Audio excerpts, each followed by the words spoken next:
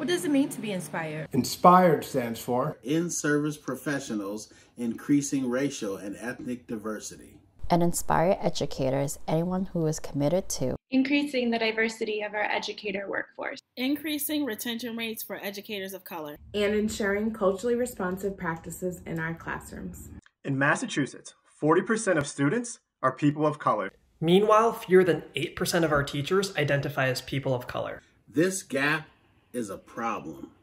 Diversity expands our worldview and gifts us with empathy and skills to navigate social issues. Research suggests that diversity in our teacher workforce is important because teachers of color boost the academic performance of all students. This is especially true for students of color whose graduation rates and aspirations to attend college increase.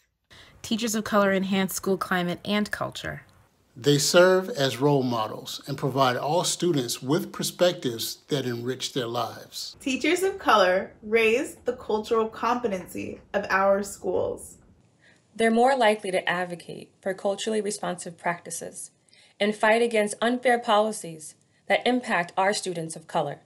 Join the Inspired Fellows and the Massachusetts Department of Education in our efforts to increase teacher diversity in our schools.